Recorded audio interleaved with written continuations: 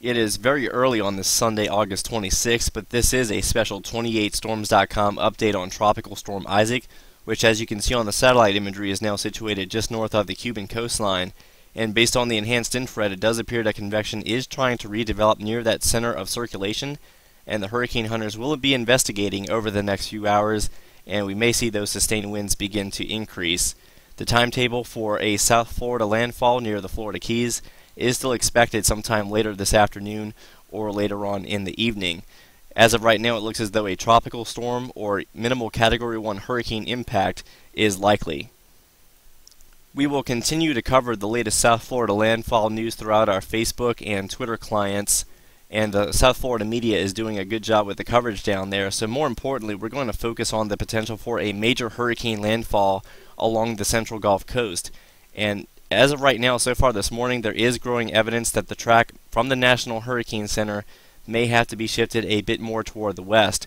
This is a look at the latest United States water vapor imagery, and we can see that the initial trough is still situated across the east coast of the United States, but this trough is continuing to weaken and the ridging over Florida is going to continue to move more toward the west.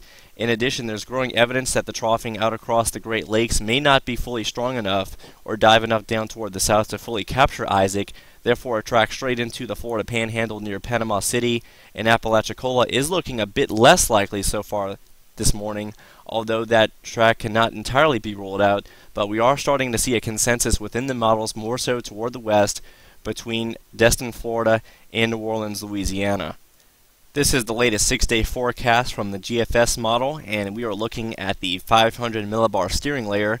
You can see in the lower right hand corner of the screen we have Tropical Storm Isaac moving right along the Cuban coastline, and as we continue to advance through the forecast, it's expected to be just to the south of Miami near the Florida Keys later on this afternoon and evening, and quickly thereafter enter the southeast Gulf no later than early Monday morning.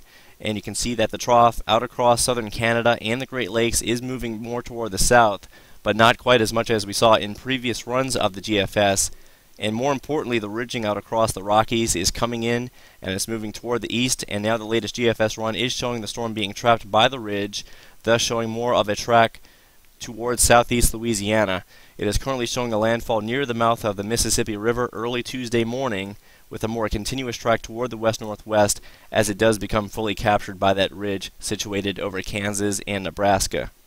Furthermore, the European run, which was over toward the east near Panama City and Apalachicola on Saturday afternoon, is also shifting back toward the west once again.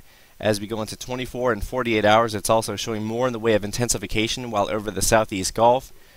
So overall, there is a growing consensus that Isaac may go ahead and try to become a major hurricane before making landfall. By 72 hours, the European is still showing a bit of a break between the two ridges here, with the troughing out across the mid-Atlantic and northeast. But by this time, the storm has already moved far enough to the west that by the time it does turn north, it is making landfall near Dauphin Island and Orange Beach, Alabama. By 96 hours, or day 4, the European is still showing that the steering currents would be relatively weak in this case, as the trough has lifted out, therefore not fully picking up the system, and the ridge is still too far toward the north to really allow the storm to advance to the west. So therefore, the model was showing little to no motion throughout the 24-hour period following the landfall. And then finally, as we go into day 5, or late Thursday night, the storm is still pushing toward the north into central Alabama to the south of Birmingham. Even some of the lesser models are now coming into better agreement with a landfall somewhere out across the central Gulf Coast. For example, this is the latest run from the 0Z CMC, and it too is also implying a landfall out across southeast Louisiana, not too far away from the coastal portions of Mississippi. And finally, as we take a latest look at the tropical model suite, we can see that the HWRF has also shifted near the mouth of the Mississippi River across southeast Louisiana, and several of the other tropical model suite members have shifted into the New Orleans area. However, there is still a good enough spread between southeast Louisiana through Destin and Panama City so that everyone between these two locations should be preparing right now for Tropical Storm Isaac as it is likely to go on and become a Category 2 or potentially even major Category 3 hurricane. And we also think that the 4 a.m. and 10 a.m. track from the Hurricane Center is going to have to shift a little bit more toward the west, probably with it being located somewhere out across the Mississippi and Alabama coastline. It is unlikely that they would shift all the way to southeast Louisiana with just one forecast package, and they will likely wait for the next significant round of model updates, that being in the early afternoon hours. And we could still see a shift back toward the east, but we are getting closer to the landfall period, so we should start to see the models begin to narrow down the landfall location.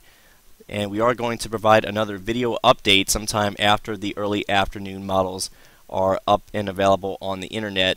In the meantime, if anything significant happens before then, you can check out 28storms.com as we may have another blog post, or if not, we're going to still have frequent updates on our Facebook and Twitter. So thank you for tuning in.